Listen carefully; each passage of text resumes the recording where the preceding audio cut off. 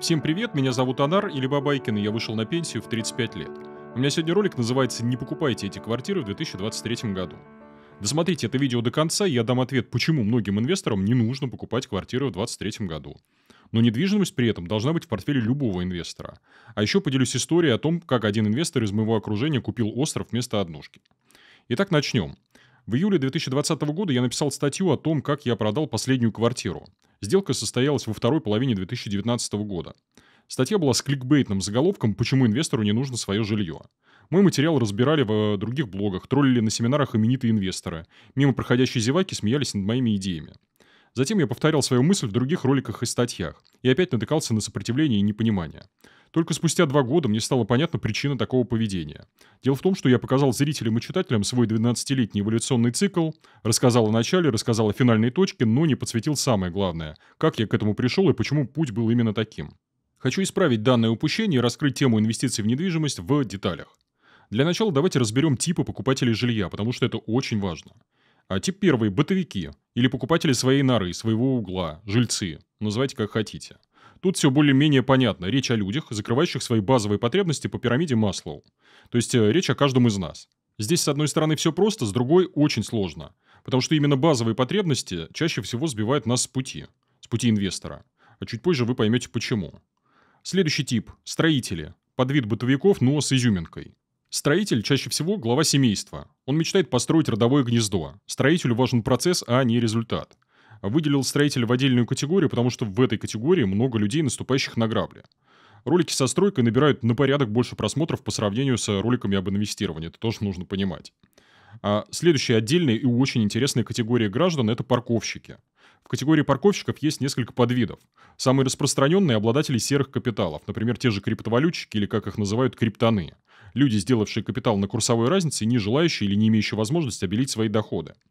Туда же можно записать силовиков и чиновников, получающих рентный доход за счет ресурса под названием «власть». Туда же работников серого бизнеса, обнальщики, казиношники и так далее. У парковщиков очень много кэша, и, им некуда его девать. Вот такая вот странная проблема. А в фильмах мы часто видим э, сцену такую, что у нас люди радуются при виде э, сумки кэша, да. Я при этом не очень понимаю их эмоции. Радоваться тут совершенно нечему, потому что в современном мире вам будет очень сложно нормально пристроить наличные деньги. Много барьеров со стороны регуляторов и банковской системы, э, и вообще много препятствий различных. Отсюда вот все эти вот странные покупки. Покупки тачек, квартир в Дубае, брюликов, девочек и вот это вот все. Я называю это инвестициями от безысходности. Разумеется, парковщики очень любят складировать деньги в бетоне, покупать квартиры, в том числе без отделки. Этих ребят не так уж много в штуках, но на них во многом держится рынок новостроек России. Люди оформляют собственность на жену, на свата, на брата, иногда даже на себя. Я считаю, что этот подвид парковщиков будет постепенно уходить в прошлое из-за проблемы страуса. Э, в чем суть этой проблемы? Страус закапывает свою голову в песок и думает, что его никто не видит. Это, конечно же, не так. Его видно как облупленного. Среди парковщиков есть и другие подвиды. Например, сейчас набирают обороты два других подвида. Это любители защиты от дурака и э, паровалильщики, как я их называю. Их мы обсудим чуть позже. Идем дальше. Следующий тип – это купи-продайчики, как я их называю. Купи-продайчики – это инвесторы, пытающиеся вытащить разницу в, э, цене за счет э, спекуляций. Многие из них думают, что они инвесторы, но в большинстве случаев ими они не являются. Купи-продайчики занимают почетное второе место после строителей среди бедолаг, теряющих деньги на недвижимости. Не выключайте этот ролик, и далее мы рассмотрим причины, по которым это происходит. Следующий тип – бизнесмены. Обычно они вырастают из купи-продайчиков. То есть человек наступает на грабли, извлекает уроки, делает выводы и становится предпринимателем. В моем окружении много таких ребят, и я очень люблю проводить с ними время. Отдельно подчеркну, что тут речь идет именно о бизнесе на недвижимости, потому что необходимо предпринимать усилия, позволяющие извлекать повышенный доход из бетона. То есть это труд по 8-12 часов в день, 5-7 в неделю. И последний тип – это рантия, э, к коим отношусь и я. Люди, конечная цель которых – извлечение ренты, жизнь с капитала, выход на ту самую пенсию, получение денежного потока. А вы должны понимать, что я прошел почти все стадии покупателя жилья. Я строил дом, покупал однушки рядом с метро и сдавал их в аренду. Покупал жилье на свои деньги для бытовых нужд э, и для нужд своих родственников. Знаю, что такое владеть морской недвижимостью. Пересмотрите мой ролик про Черногорию. Еще чуть был не купил э, отель в Британии. Покупал коммерческую недвижимость, магазины «Пятерочка». Э, то есть много всего было. Единственное, я ни разу в жизни не был спекулянтом в котлован и ни разу в жизни не брал кредит на жилье. Э, при этом я считаю себя дилетантом недвижимости, но являюсь профессиональным рантье. Вот такое вот противоречие странное. И мое видео в первую очередь для инвесторов, желающих жить с капитала. После просмотра ролика вы поймете, насколько по-другому мыслят инвесторы рантье по сравнению с другими классами покупателей жилья, и почему их идеи не такие уж и глупые. А для чего нужна была эта категоризация? А потому что без нее никак. Вы должны ответить себе на вопрос, кто я в данный момент, какие у меня цели и потребности, и можно ли их реализовать, находясь в текущей точке. Еще вам будет легче понимать людей из других категорий. Здесь мы приходим к очень важной мысли. Знаете, какой вопрос не любит большинство инвесторов? Вопрос «зачем?».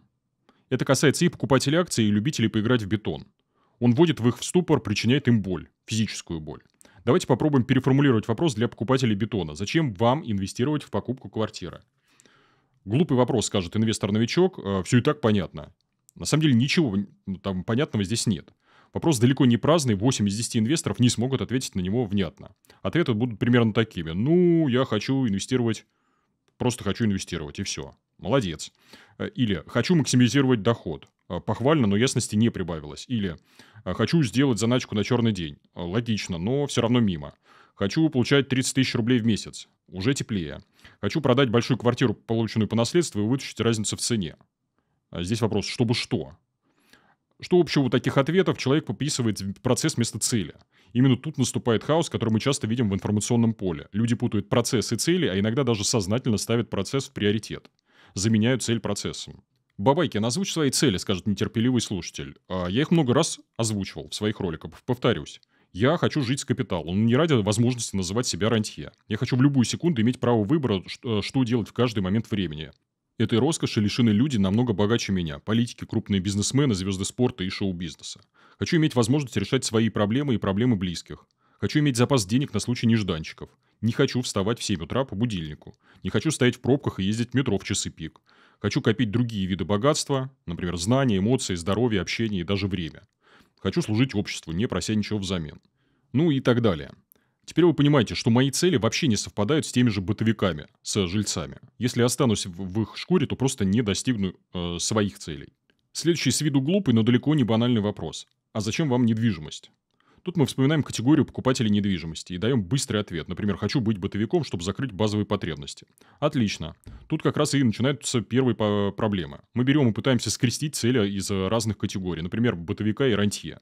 Зачем тебе квартира, спрашиваю я у приятеля. А, получаю ответ. Буду в ней жить, сделаю крутой ремонт под себя. А если что, буду сдавать в аренду, квартира даст мне копеечку. И еще хочу иметь сбережения на черный день. Хочу оставить наследникам хоть что-то. И, конечно, хочу пенсию в 35, как ты, и жизнь с капитала. Что мы тут видим? А, попытку усидеть на нескольких стульях, используя один и тот же инструмент. Не получится. Именно по этой причине мне и пришлось в свое время отказаться от инвестиций в жилой бетон. И вообще от покупки жилого бетона, в том числе и для проживания в нем. Потому что своя квартира не закрывает мои истинные потребности и цели. Идем дальше. А сейчас вы поймете, почему в моей статье 2020 года была куча хейта. Приведу вам пример конфликта, как люди сидят на двух стульях и тратят огромное количество сил и энергии на вот такие вот конфликты. А, подписчик покупает мою книжку на пенсию в 35 лет, вдохновляется идеями, находит быстрое, но опасное решение и идет к своим близким с запросом. Он им говорит, давайте продавать жилье и жить на проценты. Я в интернете прочитал, что так можно. Жена или мама смотрят на юного инвестора круглыми глазами и говорят, пошел ты к черту наслушался всяких глупостей, не мешай нам. А почему э, люди себя так ведут? Потому что это инстинкт. Желание иметь свой угол – это инстинкт. Что такое инстинкт? Это базовая биологическая программа, которой несколько десятков, а может быть даже сотен тысяч лет. И мы хотим забороть природу при помощи цифр и графиков. А, ну, достаточно наивные в, в этом плане мы люди. Как мыслит ваша супруга, если вы мужчина? Она рассуждает так, я хочу свить гнездо, я не буду жить в аренде, вдруг э, собственник меня выселит на улицу. Я рожаю тебе третьего ребенка, мы уже не влезаем в квартиру, давай решай э, жилищный вопрос. Иногда я вижу похожие конфликты в цепочке мама-сын. Сын приходит с замечательной идеей к неподготовленной маме. А, так делать тоже нельзя. А, здесь какой совет? Ни в коем случае не спорьте с женой. Не надо заставлять ее читать книжки о финансовой грамотности, она сделает это позже. Отключите в себе инвестора, решите бытовой вопрос, компенсируйте ее представление о безопасности или вообще не заводите семью. Почему? Потому что многие инвесторы вот забывают про ответственность. То есть у нас жилец зачем покупает квартиру? У него жена, дети, родители. А это обязательство. И это ответственность та самая. А, закрыл базовые потребности, пожалуйста, теперь можно думать над своими целями и задачами. Следующая мысль. А почему же я так легко избавился от квартир? Потому что мне было намного проще. У меня сложились определенные обстоятельства. Я развелся с женой. После раздела имущества у нее уже был свой угол. У моих дочерей есть свое жилье, об этом я позаботился. У моей нынешней супруги есть своя квартира, она ее покупала сама. У бабушки есть жилье, э, спасибо наследию СССР. У родителей и сестры было жилье, спасибо папе, который до 2008 года неплохо зарабатывал. То есть я решал свои задачи без оглядки на биологию и потребности близких. Мне не нужно было спрашивать разрешения, советоваться, сомневаться. Просто принял решение и принял. А моя супруга полностью разделяет мои ценности, с одной стороны, но при этом био про биологию она не забывает. Она сдает свою однушечку в панельном доме и живет со мной в комфортном арендном жилье. Конфликта природы и денег нет, потому что биологическая программа жены в данном случае удовлетворена. Эту тактику я встречаю у многих своих коллег, то есть они как себя ведут? Свое сдают, живут в съемном. Нормальное решение. Но у тебя же нет своего угла, скажете вы. Ты забыл про пирамиду Маслоу. Не забыл, коллеги. Капитал прямо сейчас позволяет мне купить сразу несколько квартир пучком и без ипотеки. Еще капитал позволяет мне снимать жилье там, где я хочу, а не там, где позволяют мои средства. У меня в ролике, вот который вы сейчас смотрите, видеоряд будет меняться от старых панелек до человейников, а закончим мы в красивом лесу, э, где я часто гуляю. До этого я пять лет жил в поселке э, Переделкино, в городке писателей. Там тоже кругом лес, сосны, приятные соседи и так далее. А сравните, насколько мой уровень комфорта отличается от комфорта среднестатистического жителя панельного дома. Если бы я покупал дома или квартиры в той локации, где я сейчас живу, то никогда бы не вышел на пенсию. При этом аренда там стоит копейки относительно моего текущего уровня дохода. Надеюсь, логика понятна, идем дальше. Что у нас там есть еще из бытовых э, проблем? Главный страх, что арендодатель выкинет меня на мороз. Так рассуждают те, кто не снимал жилье комфорт-класса. Я был в шкуре арендодателя. Если есть договор найма, если есть обязательства, то у вас не будет возможности у арендодателя выкинуть людей на улицу просто так. Договор не позволит. Поэтому нанимайте грамотных агентов, снимайте жилье в правильной локации, и у вас все будет хорошо. При этом переезды будут и у обладателей своего жилья, причем регулярно. Коллега Смирнов в своих видео говорит, что каждые 7 лет люди меняют квартиру в силу обстоятельств, расширение семьи, развод и так далее. И закончим мы э, блок бытовиков классическим вопросом, что лучше копить на квартиру или брать ее в ипотеку. Для России это ложная дилемма. Это как спрашивать у нас, что лучше, рубль или доллар. Оба хуже, коллеги. Потому что хранить деньги в деньгах – это сейчас э, не очень хорошая идея. Я про это много говорил в других своих роликах. С бытом разобрались, теперь переходим к инвестициям. Ты же сначала покупал однушки, скажет придирчивый слушатель, а сейчас хейтишь их. А с однушками не все так просто, коллеги. Я очень благодарен этому инструменту. Почему? Потому что именно однушки позволили мне аккуратно и безболезненно погрузиться в мир инвестиций. Я открыл свой первый счет в Финаме аж в 2008 году. Но внушительные суммы на брокерских счетах стали появляться спустя годы. Почему? Потому что я очень боялся рынка акций. Я видел, как разоряются спекулянты, понимал, что если залезу в рынок без стратегии и подготовки, то просто все солью. И выход нашелся. Я использовал тактику смешанных инвестиций. Заходить в рынок акций всем капиталом мне было страшно. Я взял вот э, тогда вот э, первую однушку у метро за 5,2 миллионов, тогда цены были именно такими. А 30 тысяч аренды реинвестировал в бумажные активы, акции, ОФЗ, запив недвижимости и так далее. Данная стратегия позволяет терять на фондовом рынке деньги, но получать обратную связь и учиться. Еще она запускает в силу механизм реинвестирования, а значит и сложный процент. Почему я сейчас ее не использую? Потому что у всего есть обратная сторона медали. Мне не нравится головная боль квартирных рантье. За это время у меня было куча приключений. Заливы сверху, заливы с моей стороны, суды, нечестные арендаторы, работа с агентами, а, реклама своими руками и так далее, и так далее. А, и еще я сейчас не боюсь фондового рынка, то есть мне проще стало. Теперь давайте рассмотрим стратегии бетонных рантье. Их не так уж много, их по сути две. Первая – это игра в капитализацию, то есть попытка вытащить цену больше. И вторая – это дивидендная стратегия. Суть этой стратегии я кратко сформулировал еще три года назад. Какая разница, сколько весит моя корова, если она каждый день э, дает несколько литров молока. Вроде все понятно, и пора заниматься инвестированием, но не все так просто. Мне иногда попадаются в сети курсы о том, как инвестировать в недвижимость с минимальными вложениями и с высокой доходностью. Врут ли авторы таких курсов? Нет. Но именно на этом пути толпа инвесторов попадает в ловушку. Объясню, почему это происходит на нескольких примерах. Пример первый – плечевики. Любители использовать кредитное плечо. А, эту моду принесли нам западные авторы, э, Кiyosaki и его последователи. Я считаю ее очень вредной, объясню на примере. Вот у нас у человека накоплен 3 миллиона рублей, акции он боится как огня, верит в осязаемые в кавычках активы, бетон вроде как можно пощупать, говорит он, а остальное все фигня. Допустим, он прав. Наш инвестор, вот э, что он делает? Он понимает, что ему не хватает 3 миллионов рублей на студию там у метро, и он берет ипотеку. Далее начинает работать либо в ноль, либо находится в небольшом убытке. Если ему везет, то получается какая-никакая доходность, в основном за счет бычьих рынков. Сейчас, кстати, у нас не бычий рынок ни разу. В чем тут подвох? Эта тактика не подразумевает плана «Б». Инвестору не нравится сценарий, когда что-то идет не так. А, а этот сценарий очень даже возможен. Мы видим попытку максимизировать доходность, мы видим попытку снизить порог входа.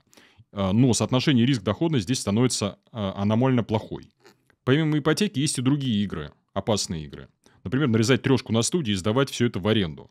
Большая часть из них крутится вокруг э, той же вот связки риск-доходность. Люди ищут приключения на свою пятую точку, а потом мой коллега Смирнов пытается вытаскивать их из тупика.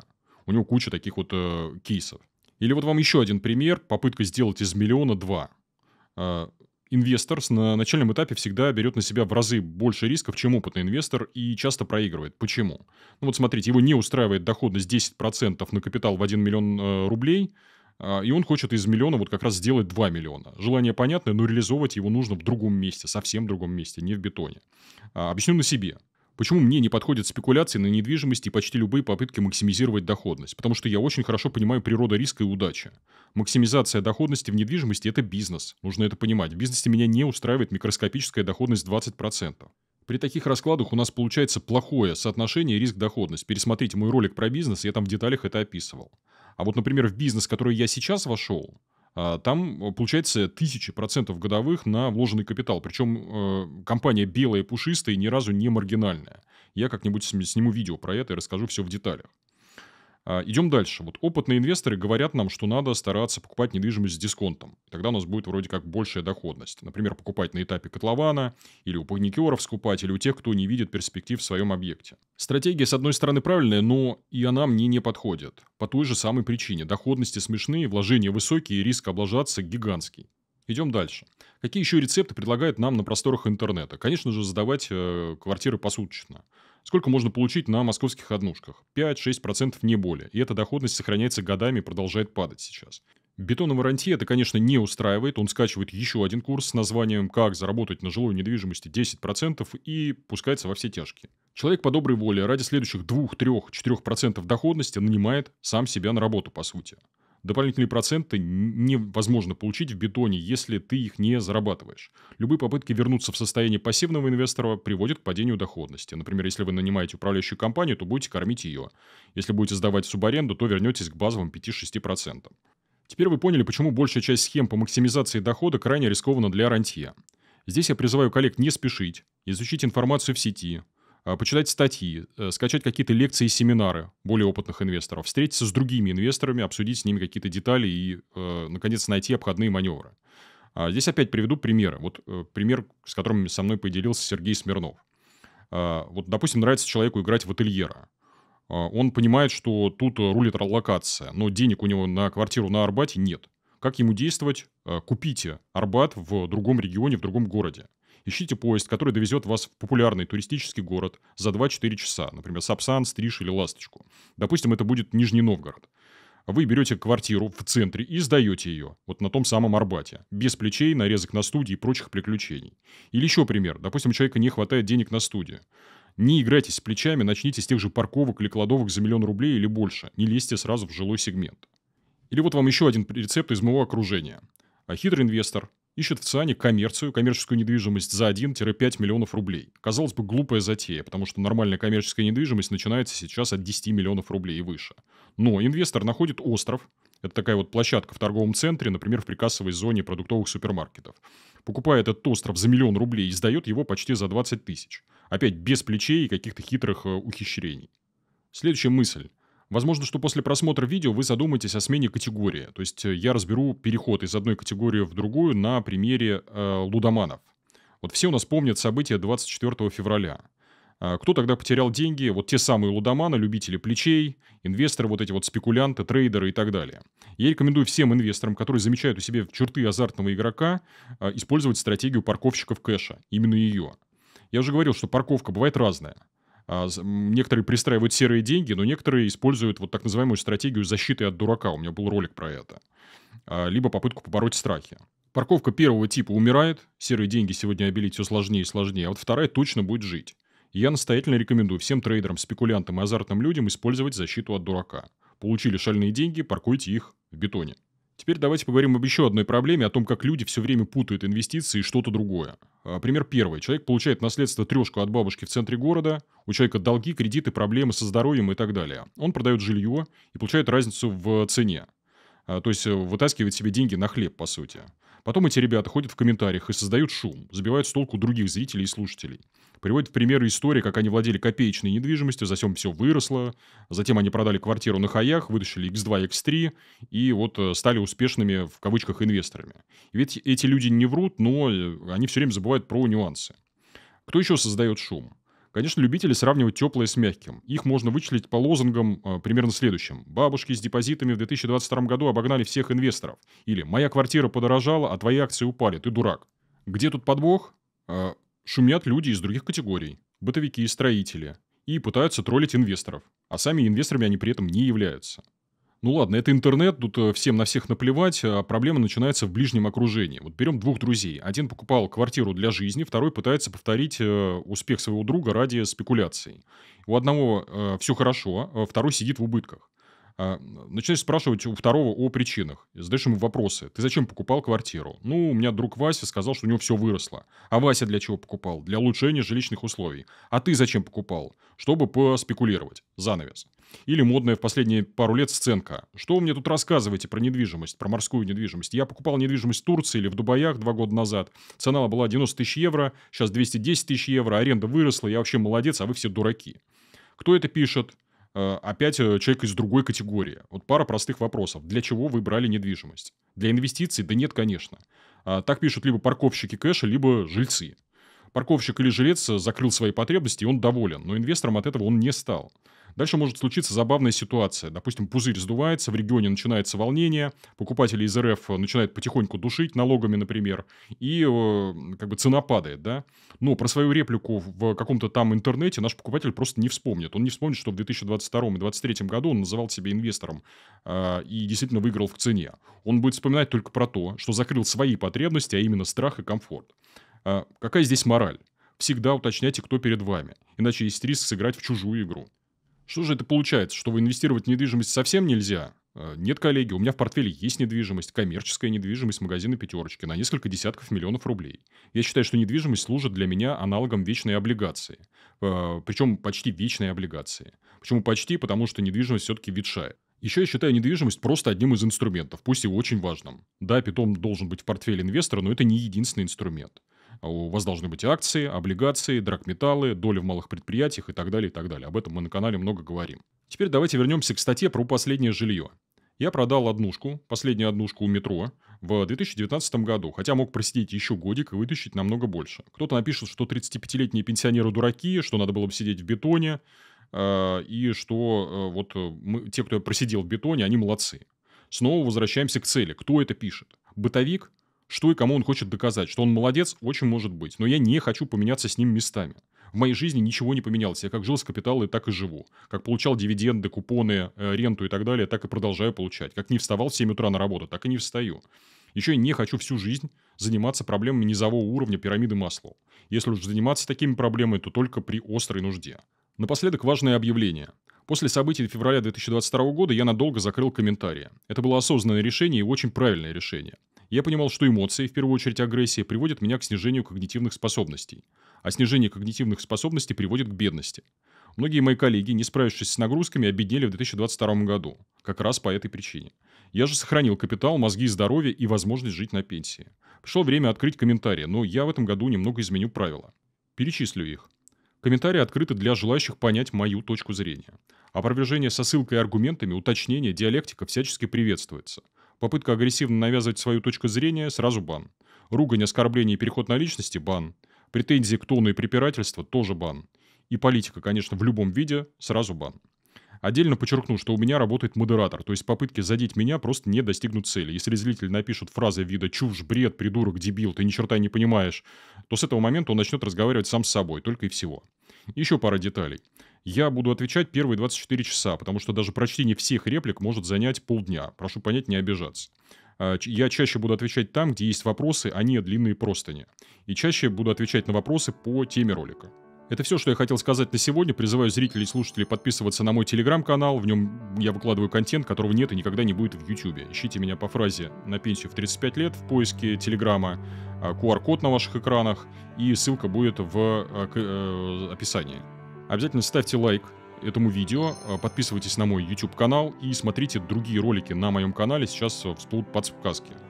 Если вдруг заблокируют YouTube, не переживайте, я весь архив заливаю на Дзен, ВКонтакте и в Рутюб. Ссылки на ваших экранах, ссылки будут в описании, там в случае чего не потеряемся, подписывайтесь. Еще у меня есть две книги, одна из них называется «На пенсию в 35 лет», вторая «Fuck you money». В книгах я попытался обобщить весь свой опыт, рассказал все, что знаю. Книги написаны максимально доступным языком, проглатываются за один вечер, стоят копейки, 176 рублей. Есть электронная, бумажная и аудиоверсия.